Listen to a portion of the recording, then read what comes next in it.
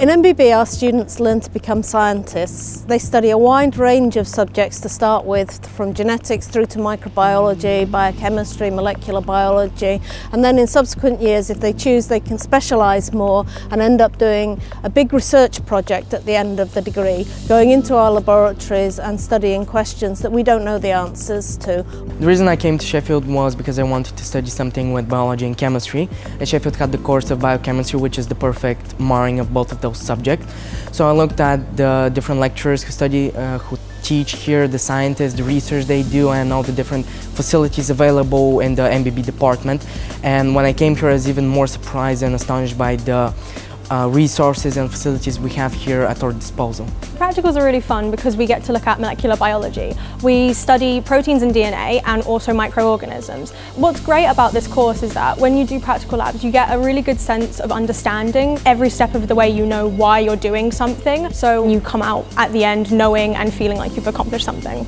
Here in the Department of Molecular Biology and Biotechnology, we study the molecular basis of life. So these are the chemical reactions that happen in every cell in every living organism that really make life possible. So in order to do this, we bring together experts in diverse fields. These include biochemistry, genetics and microbiology. And their work is leading towards addressing some of the greatest challenges that face humanity. These problems include feeding a growing population, developing eco-friendly biofuels to combat climate change, tackling antimicrobial resistance by developing a deeper understanding of how dangerous bacteria do what they do so we can develop new antibiotics, and challenging problems such as aging, um, so that maybe sometime in the future we can treat terrible diseases such as cancer and Alzheimer's.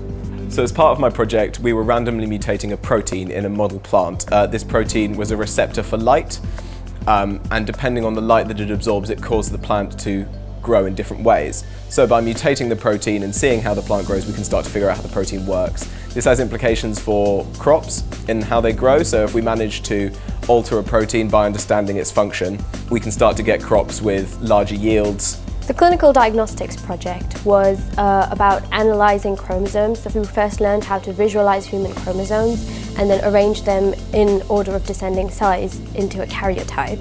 And then we obtained samples and um, did karyotype analysis to find out what type of leukemia they had.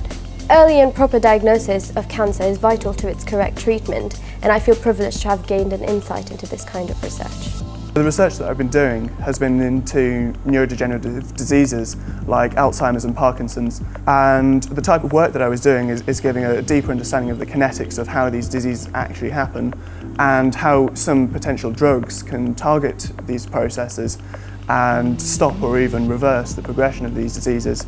So that could save a lot of lives and it's really, really needed with our ageing population.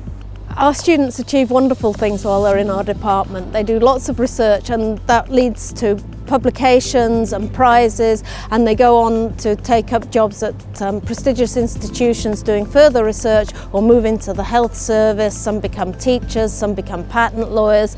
We're extremely proud of our students when they leave.